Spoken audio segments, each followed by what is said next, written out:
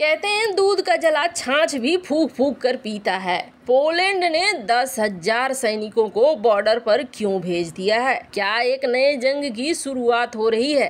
क्या है सुअल की गैप, जिसके लिए पोलैंड बहुत ज़्यादा डरा हुआ है? और रूस की रणनीति क्या है? जानेंगे। यहाँ अचानक से नया फ्रंट क्यों खुल रहा है? जहाँ एक तरफ़ ये सब कुछ हो रहा है तो वहीं दूसरी तरफ़ ताइवान। भारत के लोग ताइवान से नफरत करते हैं। ऐसा क्यों कहा जा रहा है? ये सारी चीज़ें एक ऐसी गोली जो लग रहा है जैसे पचेगी नहीं, क्यों दी जा रही है? जानेंगे जियो पॉलिटिक्स में क्या कुछ चल रहा है। आइए जानते हैं इन खबरों को विस्तार से। स्क्रीन पर आप एक आर्टिकल देख रहे हैं। पोलैंड ने दस हज़ार सैनिकों की तैनाती बॉर्डर पर करने का फैसला ले लिया है। आखिर पोलैंड को टेंशन किस बात की हो रही है? पोलैंड को टेंशन हो रही है। रूस में वैगनार चीफ और वैगनार ग्रुप विद्रोह कर देते हैं। पुतिन को चैलेंज कर देते हैं। और सारे घटनाक्रम के बीच में पुतिन निकाल कर बाहर फेंक देते हैं वैगनार चीफ को और उनके ग्रुप को।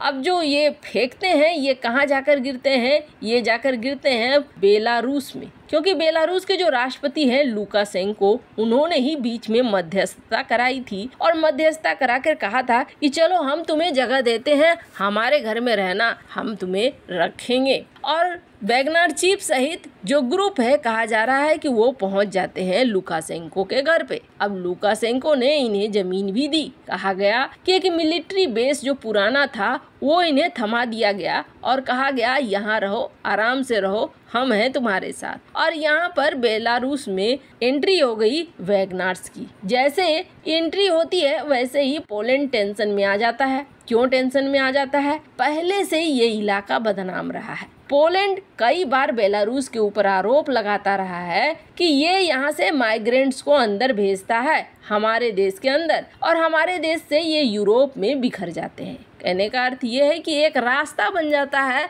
बेलारूस से पोलैंड पोलैंड से यूरोप के बाकी देश, जहाँ माइग्रेंट्स की एंट्री होती रहती है। पोलैंड पहले से ही इस समस्या से डरा हुआ था। अब पोलैंड को ये लग रहा है कि मैं एक नाटो देश हूँ और यहाँ पर ये माइग्रेंट्स के रूप में वैगनार घुसेंगे। और जब ये घुसेंगे तो हमारे देश के अंदर तबाही लाएँगे। यहाँ पोलैंड के कान खड़े हो जाते हैं। अब आपको बता दें, हुआ भी कुछ ऐसा ही। लुकासेंको पुतिन से मिलते हैं और मज़ाक मज़ाक में कह देते हैं कि वैगनार के मेरे जो बच्चे हैं ना, वो वारसोवा घूमना चाहते हैं। वारसोवा पोलैंड की राजधानी है। अब इसमें टेंशन में तो आएगा ही ना बंदा। पोलैंड टेंशन में आ गया। पोलैंड ने कहा, दस हज़ार सैनिकों की तैनाती कर देंगे।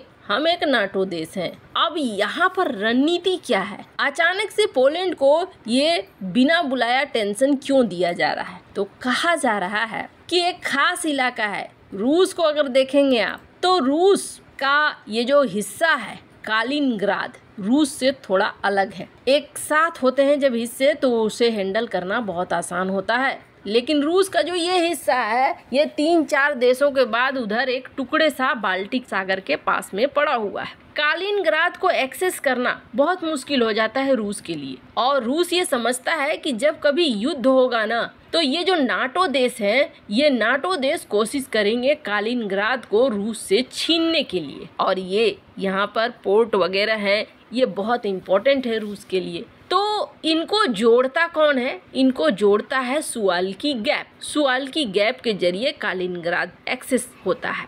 बेलारूस और रूस कथित तौर पर यह रणनीति है कि ये जो इलाका है स्वाल की गैप का, ये कब्जे में आ जाए। एक बार अगर ये कब्जे में आ जाता है तो कालिनग्राद का एक्सेस एकदम से आसान हो जाएगा। कोई टेंशन नहीं होगी रूस को। और ये आसान तो है नहीं। इसलिए आसान नहीं है क्योंकि ये पोलैंड का बॉर्डर है। अगर इसे आसान बनाना है तो पोलैंड से टेंशन लेनी होगी। तो कहा जा रहा है, यही वजह है कि यहाँ पर बेलारूस और पोलैंड के बीच में टेंशन शुरू हो रही है। रूस सोच रहा है कि भविष्य किसी ने देखा नहीं है। इस्टोनिया, लातविया, लिथुआनिया, पोलैंड कल को क्या करें? हम सबसे पहले कालिनग्राद तक अपनी एक्सेस बना ले, अपने लिए रास्ता बना ले और वो रास्ता नज़दीकी रास्ता होना चाहिए। खैर, ऐसा लगता नहीं है कि रूस अभी फ़िलहाल कोई नया फ्रंट खोलेगा। क्योंकि पहले से यूक्रेन युद्ध में उलझा हुआ है।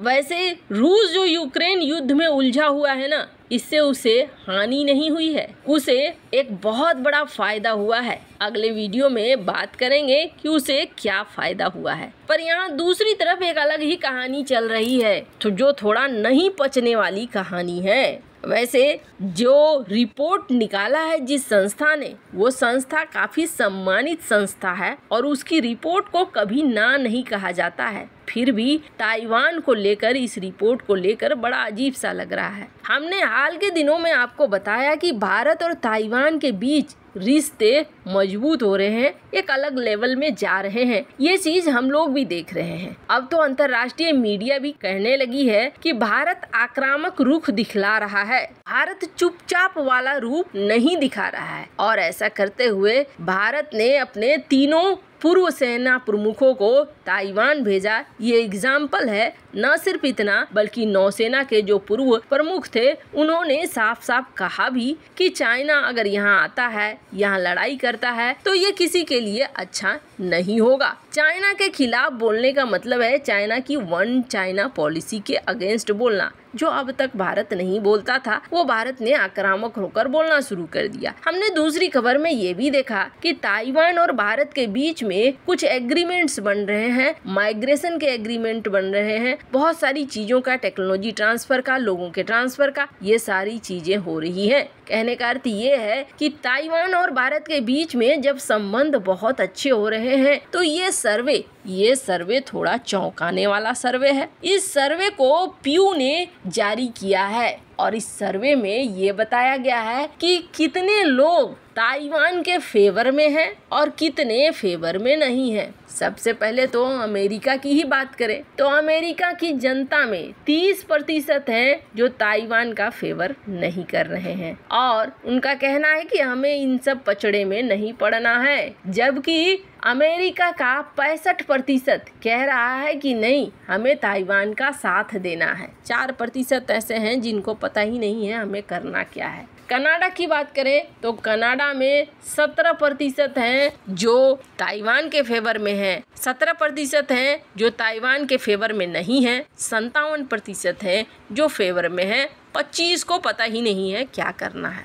यूके की बात करें, स्वीडन की बात करें कमो बेस कुछ इसी तरीके के यूरोपीय देशों के हाल है। पचास साठ प्रतिशत अगर एवरेज निकालें तो यूरोपीय देश ताइवान के सपोर्ट में है। लेकिन Japan, South Korea, Australia, Indonesia और भारत, इनके लिए जब निकाला गया तो ये देखने को मिला कि जापान में चौदह प्रतिशत हैं जो पक्ष में नहीं है, लेकिन बिरासी प्रतिशत ऐसे हैं जो ताइवान के पक्ष में हैं। साउथ कोरिया सतहत्तर प्रतिशत, ऑस्ट्रेलिया इकहत्तर प्रतिशत, इंडोनेशिया इक्यावन प्रतिशत, जबकि भारत में सिर्फ़ सैतीस प्रतिशत है। तैतालीस प्रतिशत लोग हैं जो ताइवान के पक्ष में नहीं है। खैर, इस सर्वे में एक बात नोट करने वाली थी। और वो क्या है? इसराइल इसराइल को लेकर ये कहा गया कि छियासठ प्रतिशत लोग पक्ष में हैं ताइवान के। वहीं अफ्रीका ने चाइना को झटका दिया है। साउथ अफ्रीका को छोड़ दें तो नाइजेरिया, केन्या, ये वो जगह हैं जहाँ फिफ्टी फिफ्टी वाले हालात हैं। यानी आधे लोग चाइना को पसंद कर रहे हैं, आधे लोग ताइवान को।